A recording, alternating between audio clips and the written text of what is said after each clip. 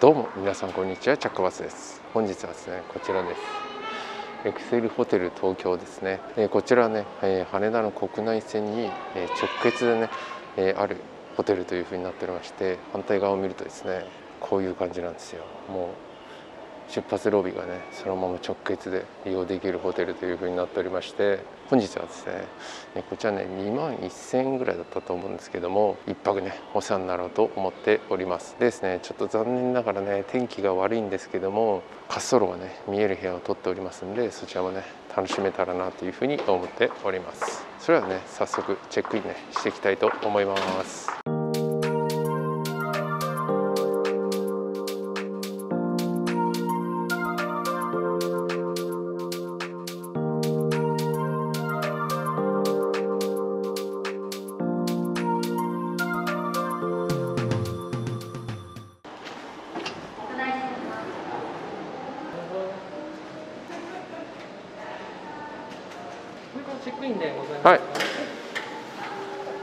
はーい8時まで提供しております。あと、向こう内ですと、大体営業時間と同じなんですね。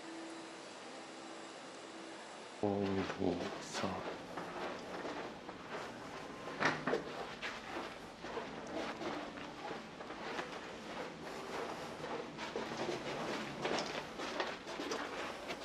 それはですね無事ねチェックインすることができました。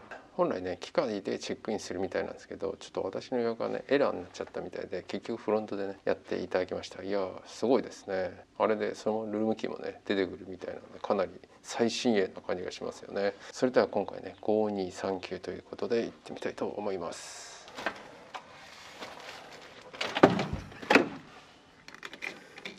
それでは客室の入ってきました。どうでしょうか？今回ねデラックスダブルの部屋ですね。思ったより広いですね。こんな感じになってます。ここから見ていきましょうか。ここにコンセントがありますね。すごい位置にコンセントありますね。でテレビがパナソニック製。で、えー、w i f i が無料になってると。であと LAN ケーブルとコンセントあと AC もね 100V のが利用できると。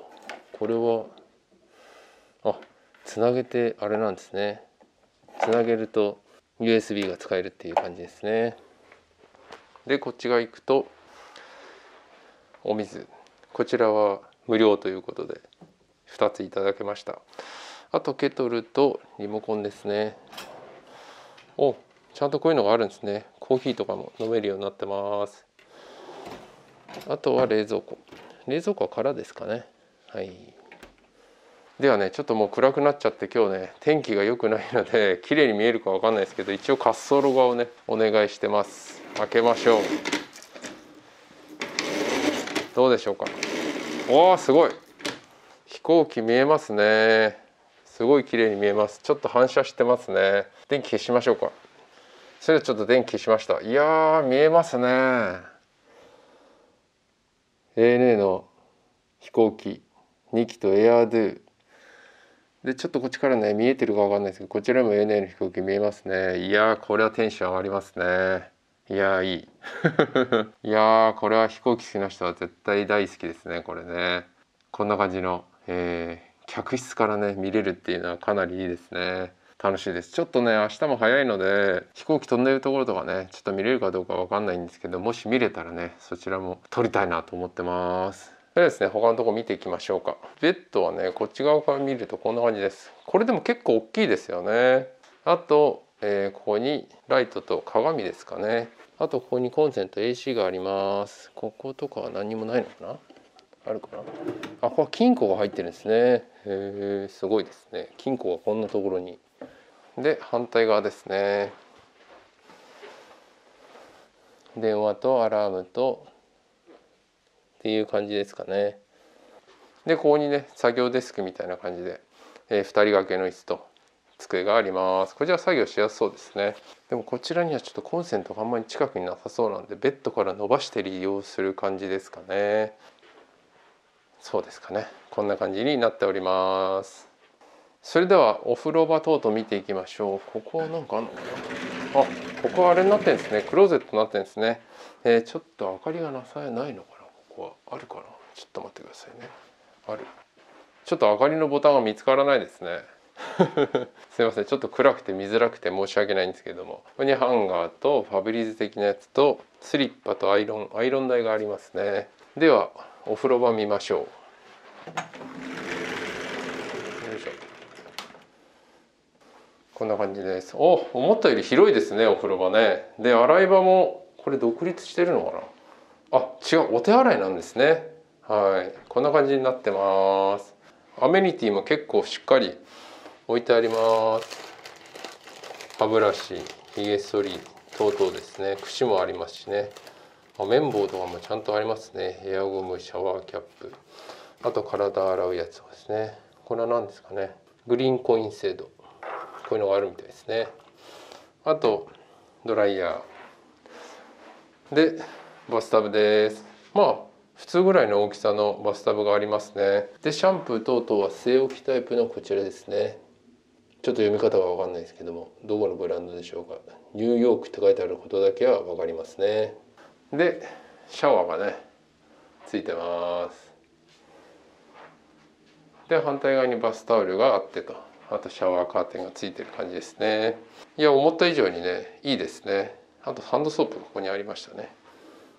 で反対側にお手洗いという感じですね。客室の感じはねこんな感じですかね。今回ねデラックスダブルルーム滑走路側っていうところをね予約させていただきました。今回はねせっかくねこちらのホテルね宿泊させていただくのであればちょっとねこちらの客室がいいなと思って指定してねこちらの滑走路がね見える部屋を予約ねさせていただきました。ちょっとね先ほども言ったかもしれないですけど1泊ね2万1000円ぐらいでしたね。まあまあまあしますかね。とはいえですね羽田空港の出発ロビー直結ということで、まあ、明日もねちょっとフライトが7時半とかですんでかなり早いんですけどもまあね6時半に行って出ても多分余裕で間に合うぐらいですよね。ということでこちらに1泊ねお世話になろうと思っております。ちょっとね雨が降っていますんで綺麗にね飛行機取れないかもしれないんですけどもできる限りですねあのこちらの客室からですね見える飛行機もですね皆さんにシェアできたらなと思っております。でですね今6時半過ぎぐらいだと思うんですけどもえっ、と飲食店がね8時ぐらいで閉まってしまうということでちょっと軽くね夕食行きたいなと思っております。それはですね。夕食の方に行ってきたいと思います。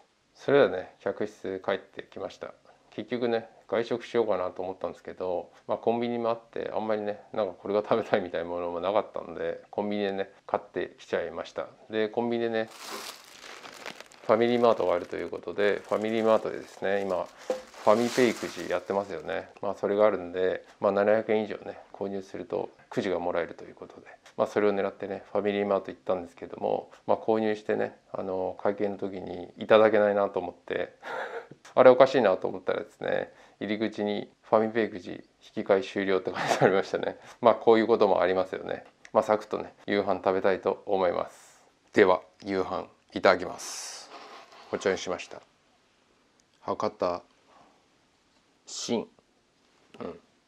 私豚骨ラーメンが大好きなんでねこちらにしました。ではいただきたいと思います。カップラーメンかよって感じですよね。いやなんかね食べたいものがなくてですね結局カップラーメンでいいかってなりましたね。であとこちらはホテルのお水ですね。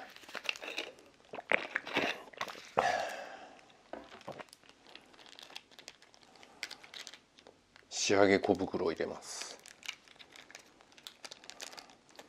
いやねホテルの客室から今飛行機はね先ほど映した飛行機はねそのままあるんですけどどうやらですねこれはもう飛び立たないそうなんですよね。ちょっと結構見てるんですけどさっきもあって今もあるんでどうでしょう？これから飛び立つんですかね？ちょっと後でフライトレーダーでしたっけ？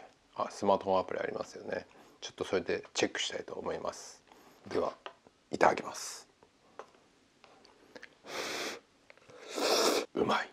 それではね明かりを消して、えー、窓の方ね映してるんですけども。で今ね携帯を持ってましてスマートフォンのねフライトレーダーっていうアプリケーションね、えー、見てるんですけども。今ね ANA と AirDo の飛行機はね、えー、左側にね微妙に AirDo ちょっと微妙に見えるかどうかなところだと思うんですけど ANA はね見えるかなと思うんですけどもあれが福岡東京行きエアバス 321-272N っていうやつですね。ちょっとね飛行機見ながらねちょっとこうやって楽しみたいなと思いますね。やっぱりこのフライトレーダー見ながらねこうやって飛行機今いる場所はね見れるのは結構楽しいかなと思いますね。映ってますかね？左微妙だな。左の奥から一機見えますね。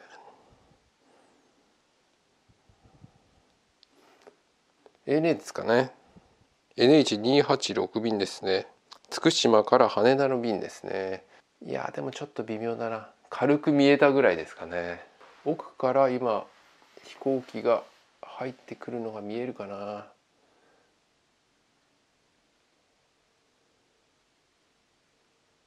ああ見えましたね。今この赤く点滅してるのが。お一気飛びましたね。おお飛びました飛びました。おおこれは面白い。いやこれ天気良かったらねもっと楽しい感じになると思ったんですけど。今行ったのは多分あれですかね。エアドゥの飛行機ですかね。札幌行き。AD37 便ですね。で今ね正面にねちょっとこっちに光を送ってちょっと反射しちゃってると思うんですけど今こちら入ってきてる飛行機が NH474 便、えー、岡羽田ですね。那覇からの帰ってきてる便ですね、えー、ボーイング7879ドリームライナーですね。あちょうどちゃんと映るかな。いやどうでしょう。あ見えてるっちゃ見えてますかね。あー綺麗に見えてきましたね。はい。いやこれやっぱり楽しいですね。こうやって見れるの。せっかくなんでこれあれしましょうか。追っかけましょうか。あいいんじゃないでしょうか。いやいいですね。客室からこれ見えるっていいですね。超楽しいですね。近づいてみますか。こんな感じです。いやいいですね。徐々に前に出て。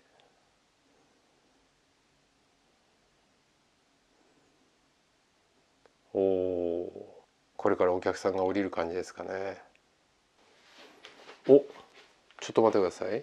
そんなこと言ってたら奥の飛行機が動き出してますね。あれはどこに行くやつですかね。ああれはもうあれですね。飛ぶやつじゃないですね。倉庫に行くやつですかね。ということでですねこの客室ねいいですよね。うん飛行機好きな人はですね一度はね泊まってみていただきたいなというふうに思いますね。今日はちょっとあいにくの天気なんですけども天気が良かったらね結構はっきりね見えるかなというふうに思いますのでもしね利用されたことない方はですね是非ね泊まってみていただきたいなというふうに思います。でですね今ね夜の8時半ということでこちらの動画ね撮影させていただいているのは土曜日っていう風になりますんでこれからね週末の雑談生放送を迎えてですね今日のところは休みたいなという風に思っております。それではねまた明日です。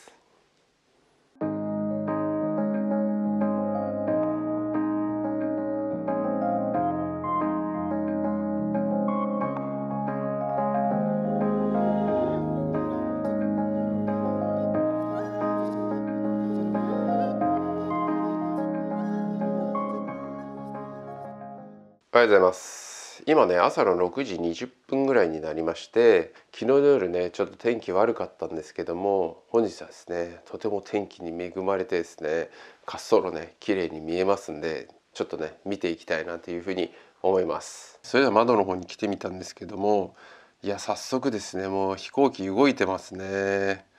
こんな感じで客室から楽しめるんですよね。いかがでしょうか？いやかなり楽しくないですかね。先ほどまでねまだ飛行機動いてなかったんですけども飛行機動いてますね。やっぱりこれテンション上がりますね本当にね。まあね窓がそこまで大きくないんですっごいね広範囲に見えるかっていうと本当に1区画だけな感じなんですけどもまあそれでもねかなり楽しめるのではないのかなというふうに思いますね。今ちょうどそこに飛行機が入ってきますね。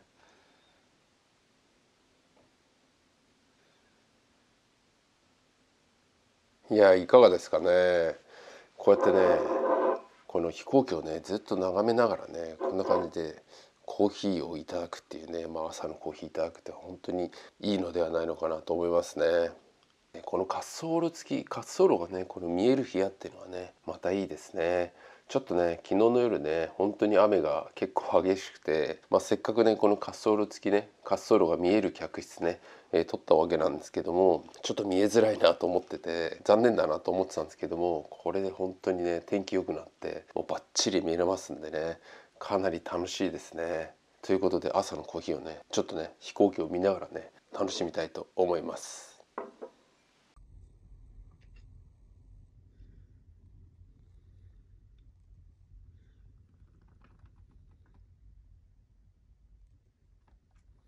それはですねそろそろねチェックアウトしていきたいなというふうに思います。本日はですねこちら羽田エクセルホテル東急ですね。一泊させていただいたわけなんですけども、えー、今回ですね、えー、客室デラックスダブルっていう部屋で滑走路がね見える部屋ということでもうねこちらのホテルの公式サイトにもそうなんですけども滑走路がね見える部屋みたいな感じで記載がありますんでまあそういう客室をですね選んでいただくとこのね滑走路が見えるね客室に案内していただけるということですんでまあ私がね調べたところだとまあフートラベルとか楽天トラベルとか、まあ、そういうところも全部ねこの滑走路付きっていうプランみたいなのが記載がねあるっていった形になりますんでそういう客室をですねもし泊まりたい方はですね選んでね宿泊してみていただきたいなというふうに思います。個人的にはですね飛行機好きな方はですね一度でいいのでね是非来ていただきたいなというふうに思います。まあ価格はね2万1000円ということでちょっとね高いかなっていうふうに思うんですけどもまあ飛行機がね好きな方であれば、まあ、このね目の前で飛行機が動いていくのをですね見れるっていうのは、まあ、かなりね楽しめるんじゃないかなというふうに思います。またねあのまあこういう景色って ANA ランチとかそういうランジでもね見れるわけなんですけどまたねホテルの客室から見えるっていうのはまた一味違ってねかなりおすすめかなというふうに思いました。で今回ですね私は、えー、ANA のダイヤモンド修行が今日当日ね控えておりまして本当にね朝早くチェックアウトする感じなんですけどもいや本当にね失敗しましたね。いやもうちょっとね朝の時間ゆっくりして飛行機ね楽しんでからね帰った方がねお得でしたよね。おそらく1時間2時間ぐらいね窓にねずっと入れるんじゃないかなっていうふうに思いますね。本当にねフライトレーダーアプリとね一緒に見ながら見てると本当にねいろんな飛行機見れてね楽しめるんじゃないかなというふうに思いました。個人的にはですねこちらホテルねお値段はちょっとしますけどもすごいね大満足の滞在っていうふうになりました。ということで私はねこれからチェックアウトしてですね ANA ダイヤモンド修行の方にね行きたいというふうに思います。それはですね今回の動画はこんな感じでね終わりたいというふうに思います。それではまた次の動画でお会いいたしましょう。バイバイ。